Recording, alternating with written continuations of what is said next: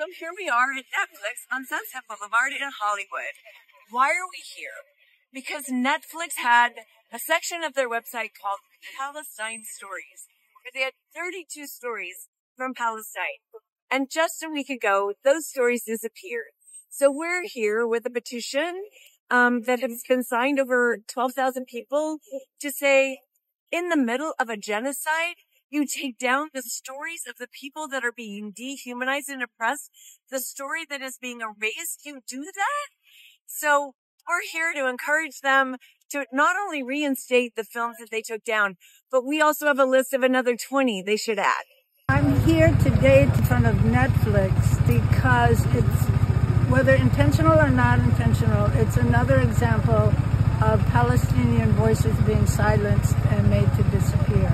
I think it's really frightening to see that one of the biggest media platforms is pulling Palestinian voices from platform and their films and their perspectives. It's kind of like the modern day version of like book burning, right? As a father, I have two kids and I have a newborn kid, you know, like 10 days ago.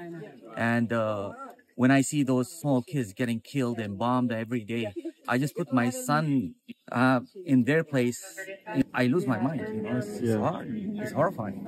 The intentional murder of women and children to really prevent future generations of the Palestinian people while they continue to exterminate all of the people, regardless, whoever they are. It makes no difference. We are sending hundreds of billions of dollars to support this. We have a hundred billion dollars to send to Israel to support their national health care, to support their subsidized education. And we don't give that to our own citizens because we want to keep our own citizens so far down that they are available to corporate interests as slave labor. We want to criminalize homelessness so we can arrest these people, incarcerate them, and put them to work, slave labor in prisons for corporations. I'm just can't believe that people brush this issue aside and think, oh, it's so far over there.